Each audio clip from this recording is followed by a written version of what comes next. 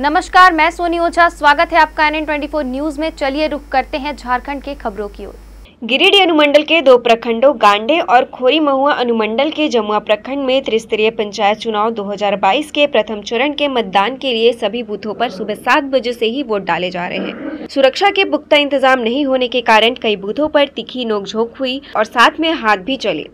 Ballot paper का size छोटा होने के कारण बुज़ुर्ग मतदाताओं को मतदान करने में या अपने प्रत्याशी के चयन करने में थोड़ी परेशानी हो रही थी। अधिकारी सूत्रों के अनुसार दिन के एक बजे तक जमुआ में संतावन दशमलव संतानवे फ़ीसदी गिरिडीह में छप्पन दशमलव छब्बीस फ़ीसदी और गांडे में उनसठ फ़ीसदी मतदान हो चुका था। चिलचिलाती धूप और उमस भरी गर्मी में भी मतदान केंद्रों पर मतदाता अपनी बारी का इंतज़ार करते हुए नज़र आए। क्या नाम है? कितना उम्र हो गया?